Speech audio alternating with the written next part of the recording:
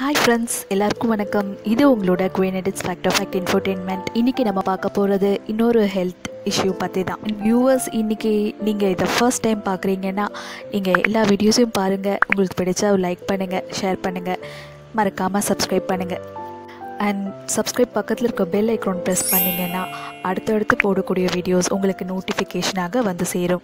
Friends இன்றைக்கி நம்ம பார்க்க போகிற டாபிக் என்னன்னு பார்த்தீங்கன்னா பிரம்ம முகூர்த்தம். அதாவது அதிகாலையில் நாலு மணிக்கு மேலே ஸ்டார்ட் ஆகிறது.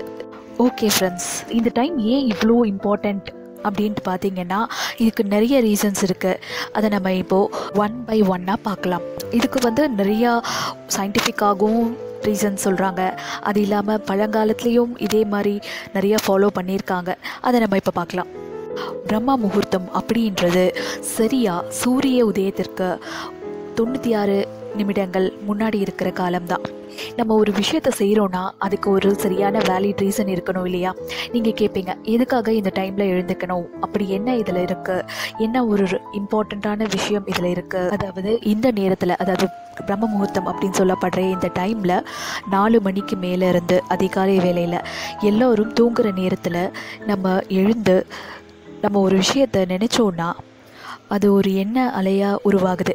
அதாவது இந்த நேரத்தில் நீங்கள் எல்லாரும் தூங்கிட்டு இருக்கும் போது அந்த நேரத்தில் நீங்கள் ஏதாவது ஒரு விஷயம் ஒரு பெரிய விஷயம் நீங்கள் லைஃப்பில் நடக்க நடக்கணும் அப்படின்ட்டு ரொம்ப எதிர்பார்த்துட்ருக்கிற விஷயம். இல்லைனா நீங்கள் லைஃப்பில் இனிமேட் நடக்கணும் அப்படின்ட்டு ரொம்ப ஆசைப்படுற விஷயம் ஒரு லைஃப் சக்ஸஸ் ஆகணும் அப்படின்ட்டு எந்த மாதிரியான விஷயம் இருந்தாலும் இந்த டைமில் நீங்கள் பண்ணுறது ரொம்பவே நல்லது. நம்ம திங்கிங் நம்ம என்ன அலைகள் இருக்கு இல்லையா? அது வந்து நம்மளோட ஒரு இண்டிவிஜுவலோட பவரோட இயங்கும். இப்போது எல்லோரும் தூங்கிட்டு இருக்கும்போது அவங்க எழுந்து அதுக்கப்புறம் அவங்க திங்க் பண்ணும்போது அந்த டே டைமில் எல்லாரோடைய எண்ணங்களும் கிளாஷ் ஆகி யூனிவர்ஸில் மிக்ஸ் ஆகியிருக்கும். ஸோ இந்த டே டைமில் எல்லாருமே எழுந்து எல்லா விஷயத்தையும் பற்றி திங்க் பண்ணிவிட்டு எல்லா விஷயத்துலையும் ஈடுபட்டு இருக்கும்போது அவங்கவுங்களுடைய எண்ண அலைகள் எல்லாமே ஒன்றுக்கு ஒன்று ரொம்ப கிளாஷ் ஆகியிருக்கும். இதை எப்படி ஒரு எக்ஸாம்பிளோட சொல்லலாம் அப்படின்னா நம்ம ஒரு பாயிண்ட்லேருந்து ஒரு காரில் போயிட்டுருக்கோம். ஒரு ஸ்ட்ரீட்லேருந்து இன்னொரு ஸ்ட்ரீட்டுக்கு ரீச் ஆகிறதுக்கு நடுவில் டிராஃபிக் இருந்துச்சுன்னா நம்ம வந்து சீக்கிரமாக போய் அந்த இலக்கை அந்த ஒரு இடத்த அடைய முடியாது. அதனால் இண்டிவிஜுவலாக நம்ம திங்க் பண்ணுற அந்த ஒரு எண்ண அலைகள் நீங்கள் மார்னிங் டைமில் யாரும் எழுந்துக்காத நேரத்தில் நீங்கள் ஒரு விஷயத்தை என்ன சக்ஸஸ் ஆகணும் லைஃப்பில் எப்படியாவது என்ன மாதிரியான விஷயமா இருக்கலாம் அதை நீங்கள் திங்க் பண்ணிங்கன்னா அது வந்து ஒரு நல்ல செயல் வடிவமாக கண்டிப்பாக மாறும் சக்ஸஸ் ஆகும். நம்மளோட திங்கிங் நம்மளோட எண்ணங்கள் இதுக்கு கண்டிப்பாக ஒரு பவர் இருக்குது அடுத்தது ரெண்டாவதாக நம்ம பார்க்க போகிறது என்ன ரீசன் கேட்டிங்கன்னா காஸ்மிக் எனர்ஜி ஓகே அதாவது நம்மளோட பிரெயின்க்கும் நம்மளோட உடம்புக்கும் அதுக்கப்புறம் நம்மளோட என்விரான்மெண்ட் எல்லாத்துக்குமே ஒரு கனெக்ஷன் இருக்குது மார்னிங் டைமில் அதாவது அதிகாலை வேளையில் சூரியன் உதிக்கும் போது அந்த ஒரு ஹீட் டெம்பரேச்சர் வந்து நம்ம உடம்பில் படும். அது வரைக்கும் நம்ம உடம்பு ரொம்பவே டெம்பரேச்சர் வந்து லோவாக இருக்கும். நம்மளோட பிரெயினும் வந்து ஆக்டிவாக இல்லாமல் இருக்கும். இப்போ என்ன ஆகும் பார்த்தீங்கன்னா அந்த ஹீட் வேவ்ஸ் சன்னுடைய ஹீட் வேவ்ஸ் நம்ம உடம்புல பாஸ் ஆகும்போது ஆட்டோமேட்டிக்காக நம்ம பிரெயின் வந்து ஆக்டிவேட் ஆகும். அதாவது பிரெயினில் வந்து பீனியல் கிளாண்ட் அப்படின்ற ஒரு உறுப்பு இருக்குது அது வந்து சுரக்கும் போது மெலட்டினின் அப்படின்ற ஒரு சுரப்பியை வந்து சுரக்கும். இது என்னடா மெலட்டனின் அப்படின்னு கேட்டிங்கன்னா மெலட்டனின் அப்படின்றது இந்த டைமில் அதாவது அதிகாலை வேலையில் நாலு மணிக்கு மேலே இந்த டைமில் வந்து நல்லா உடம்பில் வந்து சுரந்துச்சுன்னா நம்மளோட பிரெயின் வந்து கிளியராக ஒர்க் பண்ணும். எந்த ஒரு டிஸ்டர்பன்ஸ் இல்லை. பவர்ஃபுல்லாக நம்ம பிரெயினுக்கு வந்து ரொம்ப சக்தி கிடைக்கும் அப்படின்ட்டு சொல்கிறாங்க சயின்டிஃபிக்காக ஓகே மூணாவதாக நம்ம பார்க்க போகிறது என்னன்னு கேட்டிங்கன்னா நம்ம ஆயுர்வேதாவில் என்ன சொல்லியிருக்காங்கன்னா இப்போது நம்மளோட டே டைம் அதாவது பகலில் இரண்டு மணிலேருந்து ஆறு மணி வரையும் அதுக்கப்புறம் நைட்டில் இரண்டுலேருந்து ஆறு மணி. இந்த டைமில் நம்மளோட பிரெயின் வந்து எப்போவுமே ரொம்ப ஆக்டிவாக இருக்கும்னு சொல்லியிருக்காங்க. ஸோ அந்த டைமில் நீங்கள் படித்தாலும் சரி எந்த மாதிரியான விஷயத்தை யோசித்தாலும் அது வந்து ரொம்பவே தெளிவாக உங்களால் பண்ண முடியும். பிரெயினுக்கு அவ்வளோ இருக்கும் அப்படின்ட்டு சொல்லப்படுது. அடுத்ததாக பார்த்தீங்கன்னா நம்மளோட காலங்களை வந்து நான்காக பிரிக்கிறாங்க. ஒன்று ஃபஸ்ட் ஒன் வந்து பார்த்தீங்கன்னா ருத்ர காலம் அதாவது இந்த டைம் என்ன பார்த்தீங்கன்னா நைட் ஒன்பது மணியிலிருந்து பத்து மணி வரை. இந்த நேரத்தில் நம்ம கண்டிப்பாக தூங்க போயிடலாம். அடுத்து வர்றது பார்த்திங்கன்னா ராட்சச காலம் சொல்கிறாங்க இது வந்து கரெக்டாக பத்து மணியிலேருந்து பன்னிரெண்டு மணி வரை. இந்த டைமில் கண்டிப்பாக முழிச்சுட்டு இருக்கவே கூடாது. நெக்ஸ்ட் இருக்கிறது பன்னிரெண்டு மணியிலேருந்து மூன்று மணி வரை. இந்த டைம் நம்ம பிரெயின் பகலில் நல்லா ஒர்க் பண்ணுறதுக்கு நம்ம பாடி வந்து வந்து சேவ் பண்ணிகிட்ருக்கோம் ஸோ நல்ல தூக்கம் வந்து இந்த டைமில் ரொம்ப முக்கியம். அடுத்து வந்து பார்த்திங்கன்னா மனோகர காலம் அதாவது மூணு மணிக்கு மேலே. இந்த நேரத்தில் நம்மளோட வேலைகளை செய்யலாம். ஃப்ரெண்ட்ஸ் அதுக்கப்புறம் நீங்கள் எந்த வேலையை செஞ்சாலும் இந்த டைமில் நீங்கள் உங்களோட படிப்பாக இருந்தாலும் இல்லை இன்டர்வியூக்கு ரெடி ஆகுறீங்களா? இல்லைனா வேறு ஏதாவது ஒரு பெரிய எய்ம் பண்ணுறீங்களா லைஃப்பில் அந்த விஷயத்த இந்த டைமில் நீங்கள் செஞ்சீங்கன்னா அதாவது மூணு மணிக்கு மேலே நீங்கள் உட்காந்து புதுசாக படிக்கிறீங்கனாலும் சரி எந்த ஒரு விஷயத்த புதுசாக ஸ்டார்ட் பண்ணுறீங்கனாலும் சக்ஸஸ் ஆகும்னு நினைக்கிறீங்கனாலும் இந்த டைமில் நீங்கள் பண்ணிங்கன்னா கண்டிப்பாக அது ஒரு நல்ல விளைவை கொடுக்கும். அதிகாலை வேலையில் மூணு மணிக்கு மேலே.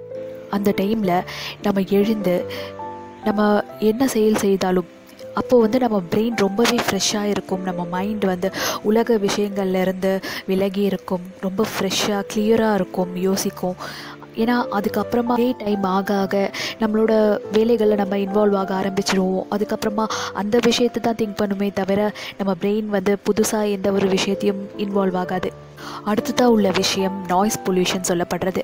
நாய்ஸ் பொல்யூஷன் என்ன ஆகும்னு கேட்டிங்கன்னா நம்மளோட பிரெயினை வந்து டைரெக்டாக அஃபெக்ட் பண்ணுற அந்த அளவு சக்தி இருக்குது ஏ என்ன இப்படி சொல்கிறீங்க அப்படின்னு கேட்டிங்கன்னா நம்மளோட பிரெயின் என்ன ஆகும்? நம்மளோட நாய்ஸை வந்து ரிசீவ் பண்ணும்போது நம்மளோட ப்ரெஷர் பிளட் ப்ரெஷர் அப்படின்றது ரொம்ப இன்க்ரீஸ் ஆகிடும் எனக்கு கண்டிப்பாக ஒரு தீய விளைவை தான் ஏற்படுத்தும். அடுத்ததாக மார்னிங் டைமில் நம்ம எழுந்துக்கிட்டோன்னா அந்த ஒரு ஏர் அந்த ஒரு என்விரான்மெண்ட் வந்து ஃப்ரெஷ் ஏர் இருக்கும். ஸோ நல்ல ஒரு காற்றை சுவாசிக்க முடியும். ஸோ ஆட்டோமேட்டிக்காக ஒரு நல்ல என்விரான்மெண்ட்டில் ஃப்ரெஷ் ஏர் நல்ல ஒரு இயற்கையான காற்று சுவாசிக்கும் போது ஒரு நல்ல ஒரு ஃபீல் உண்டாகும். மனசுக்கு நல்லாயிருக்கும் இப்போ நம்ம பார்த்தோம் அதாவது பத்து மணியிலேருந்து பன்னெண்டு மணி வரை அந்த டைமில் அதுக்கப்புறமா கூட முழிச்சிட்ருக்கக்கூடாது அப்படின்னு சொல்கிறீங்களே ஆனால் எங்கே நம்ம பண்ணுறோம் அந்த மாதிரி பண்ணுறோமா நம்ம இந்த சோஷியல் மீடியா இருக்கிறதுனால நம்ம கண்டிப்பாக பத்து மணிக்கு மேலே கண்டிப்பாக தூங்கிடுவோம் அப்படின்ட்டு எல்லாரும் சொல்ல முடியாது. நீங்களே கொஞ்சம் யோசிச்சு பாருங்கள் இந்த ஒரு பத்து மணிக்கு மேலே நம்ம கண்டிப்பாக தூங்குறோமான்னு. அடுத்ததாக நம்ம அதிகாலையில் பண்ண வேண்டியது யோகா முறைகள் அதாவது பத்தஞ்சலி மகரிஷி அவரை தோற்றுவிச்ச அந்த ஒரு யோகம் யோக பயிற்சி அதை வந்து பண்ணலாம். நல்லது. ஃப்ரெண்ட்ஸ் அந்த காலத்தில் ஞானிகள் யோகிகள் இவங்கெல்லாம் என்ன பண்ணாங்கன்னா அவங்க நினச்சதை அடையிறதுக்கு அவங்க மனசை ஒருநிலைப்படுத்தி தவம் போல அவங்களால தம் ஐம்புலங்களையும் அடக்கி ஆளும் சக்தி அவங்களுக்கு இயற்கையாகவே அளிக்கப்பட்ட ஒரு வரமாக இருக்குது ஆனால் ஃப்ரெண்ட்ஸ் நமக்கு சாதாரண மனிதர்களான நமக்கு வந்து அந்த மாதிரியான ஒரு பெரிய சக்தி எல்லாம் கிடையாது. ஸோ நம்ம என்ன பண்ணணும்னா புராணங்களிலும் வேதங்களிலும் எழுதப்பட்டிருக்கிற மாதிரி நமக்குன்னு உண்டாக்கப்பட்ட அந்த நேரத்தில் நமக்குன்னு குறிக்கப்பட்ட அந்த நேரத்தில் நம்ம லைஃப்பில் என்ன பெருசாக சாதிக்கணும் அப்படின்ட்டு நினைக்கிறோமோ கண்டிப்பாக ஃப்ரெண்ட்ஸ் அந்த நேரத்தில் நீங்கள் மேற்கொண்டீங்கன்னா கண்டிப்பாக நம்மளோட லைஃப் பிரைட்டாக ஆகிறத யாராலையுமே தடுக்க முடியாது. ஃப்ரெண்ட்ஸ் வாழ்க்கையில் இது வரைக்கும் நம்ம நினச்சது எதுவுமே நடக்கலை. எதுவுமே நமக்குன்னு இல்லை. அப்படி நினைக்கிறவங்க கண்டிப்பாக இந்த நேரத்தில் எழுந்து உங்களோட முயற்சியை செஞ்சிங்கன்னா உங்கள் லைஃப் சக்ஸஸ் ஆகிறத யாராலையுமே எந்த சக்தியாலையுமே தடுக்க முடியாது. நம்ம செய்கிற இந்த சின்ன முயற்சி நம்மளோட லைஃப்பை எவ்வளோ பெரிய சக்ஸஸ் ஆக்கும் அப்படின்றத நீங்கள் வரக்கூடிய நாட்களில் பார்ப்பீங்க அதாவது இனிமேட்லேருந்து நீங்கள் காலையில் எழுந்துக்கணும் அப்படின்ற பழக்கத்தை ஏற்படுத்திக்கணும். ஒரு நாள் ரெண்டு நாள் வந்து கொஞ்சம் கஷ்டமாக இருக்கும். ஆனால் அதுக்கப்புறமா பழகிடுவீங்க. அதுக்கப்புறம் நீங்களே பார்ப்பீங்க. அந்த டைமில் கரெக்டாக அலாரமே தேவையில்லை. ஓகே ஃப்ரெண்ட்ஸ் இந்த பதிவு உங்களுக்கு பிடிச்சிருந்துச்சுன்னா உங்கள் ஃப்ரெண்ட்ஸ்க்கு ஷேர் பண்ணுங்கள் இதே மாதிரியான யூஸ்ஃபுல்லான இன்ஃபர்மேஷனோட அடுத்த பதிவில் உங்களை நான் சந்திக்கிறேன். வீடியோ பிடிச்சா ஒரு லைக் பண்ணுங்கள் சப்ஸ்கிரைப் பண்ணுங்கள் எல்லாருக்கும் ஷேர் பண்ணுங்கள் நன்றி.